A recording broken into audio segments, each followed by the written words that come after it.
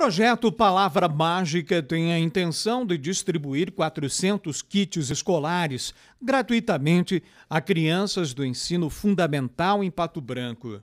O projeto surgiu a partir da necessidade percebida de que as crianças em casa, por causa da pandemia, precisam ser motivadas para investir em seu tempo na busca do conhecimento. Elaine foi a idealizadora do projeto, que agora busca o apoio da comunidade. O projeto vai durar por três meses, né? Ele está aberto a novos parceiros, tanto pessoa física quanto pessoa jurídica.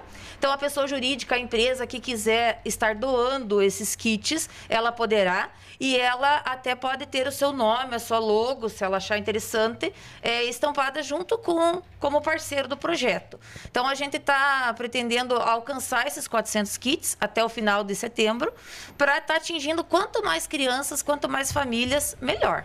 Tem cola, lápis de cor, cola colorida, pintura aqui, eh, produto para pinturas né, com as mãos, com os dedinhos da criança, pipoca e livros né, com as atividades lúdicas para a criança fazer durante o período da quarentena. E a gente sabe o quanto estamos precisando de incentivo neste momento para acalmar nossas crianças em casa. É justamente aí que entra a ideia do projeto.